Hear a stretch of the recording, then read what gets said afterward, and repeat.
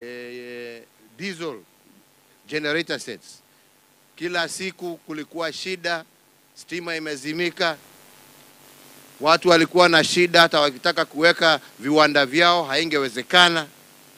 Lakini leo tukiongea nanyi, Garissa sasa imeunganishwa kwa the national grid, munapata stima kutoka upande ya zile dam za hydro, na leo hii nyinyi pia mtakuwa mnatuma stima ambayo itakuwa inatumika na Wakenya wengine, na hii ndio tunasema kuunganisha Kenya na kuunganisha Wakenya. Sasa tuko na nafasi ya wawekezaji kuja kuweka viwanda, na ndio hawa vijana wetu ambao wako na nguvu na akili waweze kupata kazi kusaidia jamii zao. Tumeisha na tume, e, ile ya zamani imeisha ya kuwa kusema ya kwamba kuna sehemu zingine ambayo ni Kenya zaidi ya zingine. Sasa Kenya ni moja na maendeleo yaonekana katika kila eneo. Barabara juzi tulianzisha miaka mitatu hivi iliyopita toka Garissa kuelekea mpaka Modogash.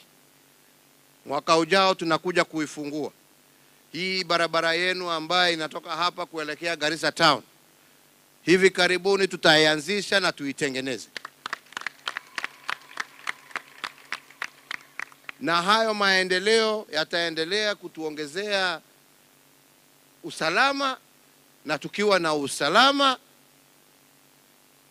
tuko na nafasi ya kuleta wawekezaji. Na ni kumaliza umaskini, ni kuhakikisha ya kwamba vijana wana kazi, ni kuhakikisha ya kwamba wananchi wetu wanaweza kupata matibabu kwa hospitali ambaye inastahili, na wananchi wetu wanatembea kwa njia ya huru bila kuogopa, kwa sababu miradi ambaye iko ina benefit wananchi ambao wanaishi katika sehemu mbalimbali za Kenya yetu.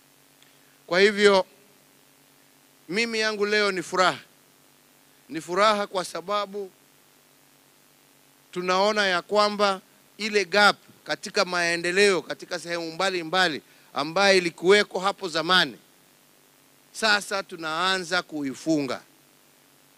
We are developing our country uniformly across from Moyale mpaka Namanga, from Mombasa mpaka Lake Victoria.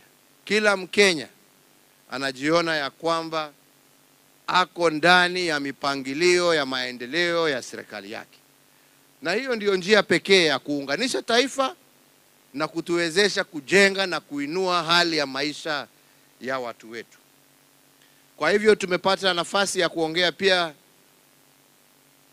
na viongozi wa kaunti hii ya Garissa. Ningependa niwashukuru kwa yale yote pia county government inafanya.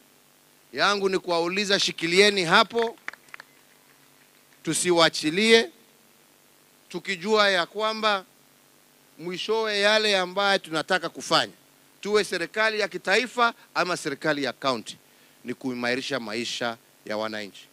Tuhakikishe wenzangu ya kwamba ile pesa ambayo imeten, imetengwa itumike na serikali ya kitaifa, inatumika kwa miradi ambayo inatakikana, lakini sio kuingia mifuko ya wachache.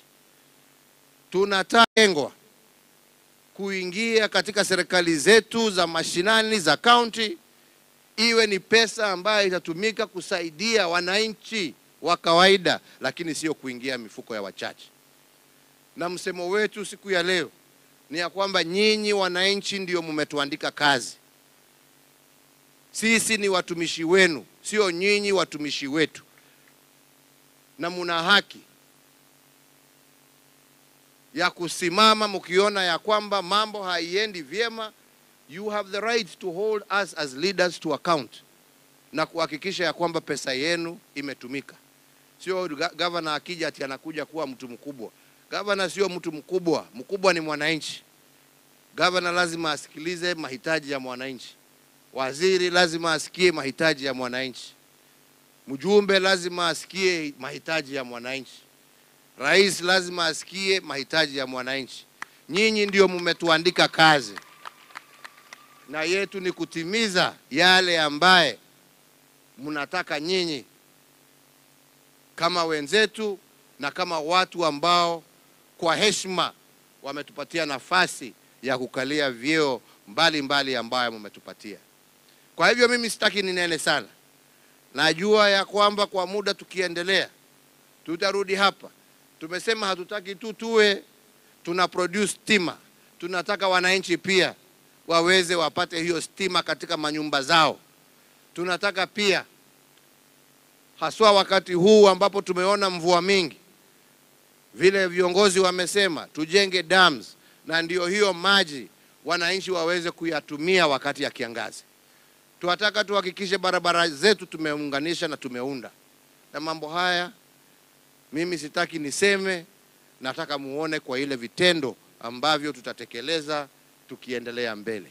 Kwa hayo machache, na washukuru wale wote ambao wamehusika kwa huu mradi.